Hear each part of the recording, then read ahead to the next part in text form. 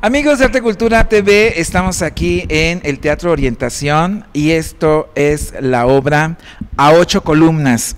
Y estamos con dos de los actores de este elenco y vamos a saber quiénes son y que nos inviten, ¿verdad? Bueno, aquí tienen a el señor Arnoldo Picasso. Y Sofía Alexander Katz. y bueno, pues claro que venimos aquí especialmente a invitar a la gente de Arte y Cultura TV porque esta obra yo creo que para la finura de televidentes, eh, de teledigitales videntes em, que, que, tenemos enfrente, pues les va a convenir. Si les gusta un teatro, digamos, pensante, todo el teatro es pensante, pero unos están mejor hechos que otros.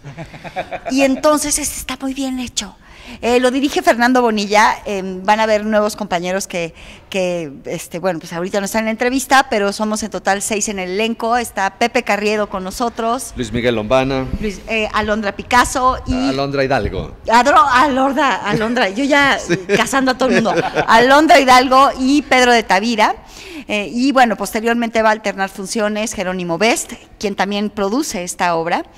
Y se trata sobre la manipulación de los medios de comunicación, pero en los años 50.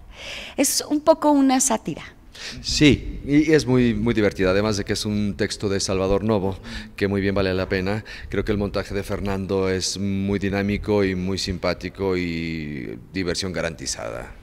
Además del tema que no es fácil, es el poder sobre la manipulación de los medios, pero la manera en que está ejecutada y con esta mujer no saben cómo se van a divertir, no, ¿eh? No, no. Sofía, es que no se la pueden perder. No, no, no, con este hombre, con este hombre. No, no, no, no. Con, con, Arno, con Arnoldo, no, no saben. No, ¿y saben qué? Con Alondra. No, ¿y saben con quién más? Con el Pepe. No, bueno, y el Lombana. Todo el mundo tiene su intriga aquí, ¿verdad? Y ese Pedro. y el no, Pedro. no, no.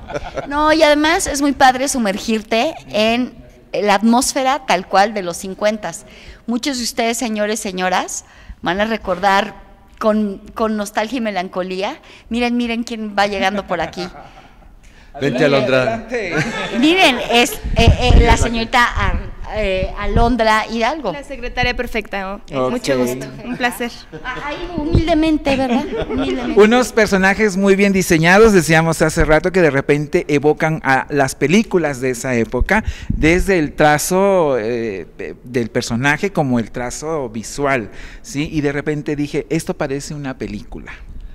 Desde el trazo, desde el tono, el dibujo gestual de los personajes, el vestuario, la iluminación, sí. todo, todo está para que se sientan de nuevo en una película de Pedro Infante de los 50. Así, pues muy bien. Cual. Vamos a decirle al público cómo está la temporada para que se animen a venir. Ok, teatro, orientación, donde estamos ahorita transmitiendo.